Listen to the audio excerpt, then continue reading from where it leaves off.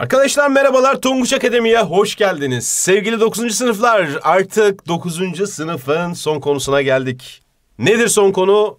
İnsan ve çevre sevgili arkadaşlar. Burada insanların doğal çevreyi kullanma biçimlerine değineceğiz. Ee, ama tabii biliyorsunuz buna değinmeden önce her videoda ne yapıyoruz arkadaşlar? Şöyle size 9. sınıf programını gösteriyoruz. 9. sınıf programına şöyle bir bakın. Bu programa sadık kalın. Tamam mı gençler? Şimdi ne yapıyoruz? Tabii gene her videodan önce muhakkak olmazsa olmazımız neydi? Dinamo Soru Bankası. Hemen ne yapıyoruz arkadaşlar? Bunun son ünitesini açıyoruz. Son ünitesi nedir? Çevre ve toplum. Burada ne yapacağız? Doğal çevreyi nasıl kullanıyoruz? Doğal ortamda insan etkileri, çevre ve toplum konularına şöyle bakıyoruz. Konuyla ilgili soruları çözüyoruz arkadaşlar. Böylece konuya şeker gibi hakim oluyoruz. Tabii ki e, kitabımızda ne yapmış oluyoruz? Bitirmiş oluyoruz. 9. sınıf bakın koca bir sene çat diye hemen geçiverdi değerli arkadaşlar.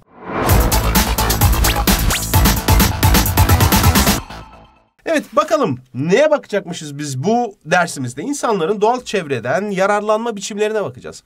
Doğal ortamda insan etkisiyle meydana gelen değişimlere bakacağız. İnsanlar neler yapıyor?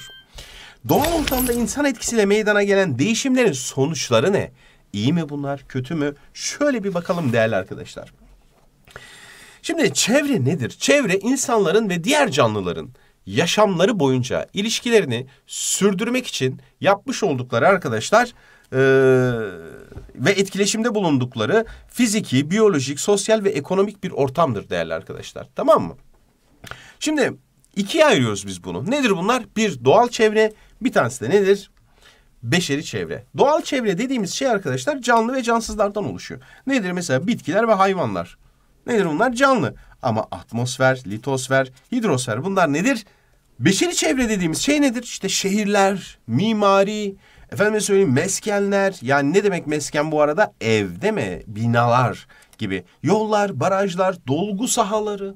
Değil mi? Bazı yerlerde denizler dolduruluyor falan. Sanayi tesisleri bunlar nedir? Beşeri çevreye örnek verilebilir arkadaşlar. Şimdi çevrenin ne gibi etkileri var? Tarımsal faaliyetlere etkisi var. Efendime söyleyeyim sanayinin dağılışına ve türüne etkisi var. Nüfusun dağılışına etkisi var. Mesken tiplerine etkisi var. Yani evin tipinden kastımız işte nedir? Ahşap bir ev mi? Yoksa e, taş bir mesken mi? Değil mi? Ya da kerpiçten mi? Neyle alakalı? Bu iklimle alakalı sevgili arkadaşlar.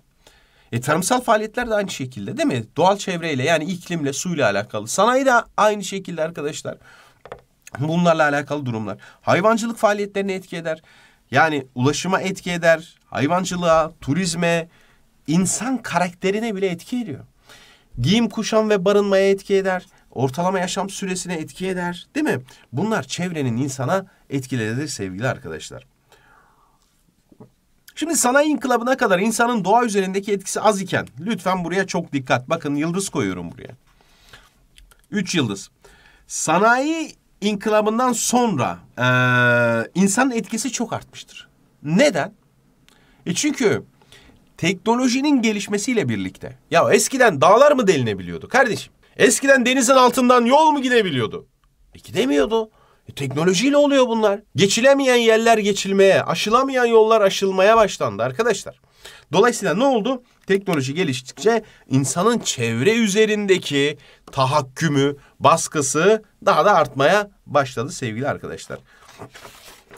Evet, şimdi insanlar doğal çevre üzerinde ihtiyaçları doğrultusunda yaptığı değişiklikler geçmişten günümüze doğru artarak devam ediyor. Özellikle 20 ve 21. yüzyıllarda yani bugün teknolojinin gelişmesi ve nüfusun artması ile birlikte doğal çevrede çok önemli değişiklikler meydana geliyor. Mesela Manş Tüneli. Nerede biliyorsunuz Manş Tüneli? Fransa ile İngiltere arasında. İşte Palmiye Adası. Bu Arapların yaptığı böyle palmiye şeklinde Basra Körfezi'nde değil mi? Yaptığı ada. İşte Kansai Havalimanı deniz dolduruluyor. Hollanda polderleri deniz dolduruluyor. Efendime söyleyeyim Gotthard Baz Tüneli, Hong Kong, Zuhai ve Macau Köprüsü.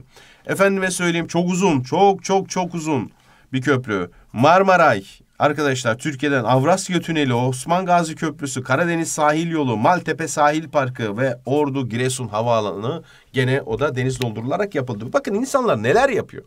Yani bunları yapabilmemiz için ne lazım? Ciddi bir teknoloji lazım değil mi? Bir bilgi birikimi lazım. Ee, tabii bunun için ee, yani bununla e, bu şekliyle bu perspektifle baktığımızda bundan bin yıl önce insanların böyle şeyler yapmaları tabii oldukça güçtü sevgili arkadaşlar. İşte bakın Palmiye Adası görüyorsunuz arkadaşlar. Değil mi?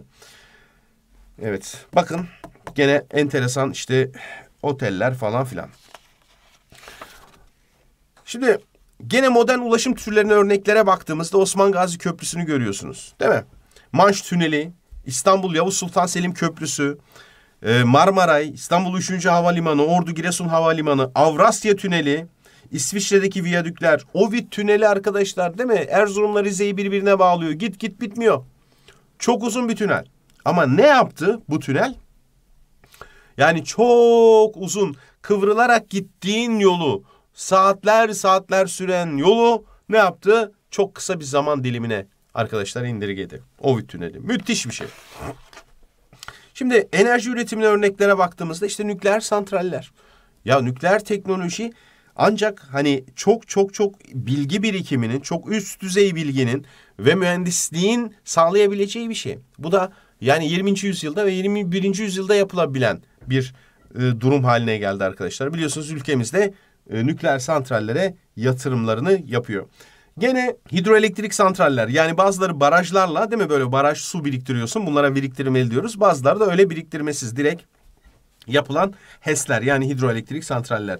Gene rüzgar, gel git, güneş enerjisi gibi enerjiyi elde ettiğimiz enteresan alanlar değil mi? Rüzgar enerjisiyle ne yapıyoruz biz?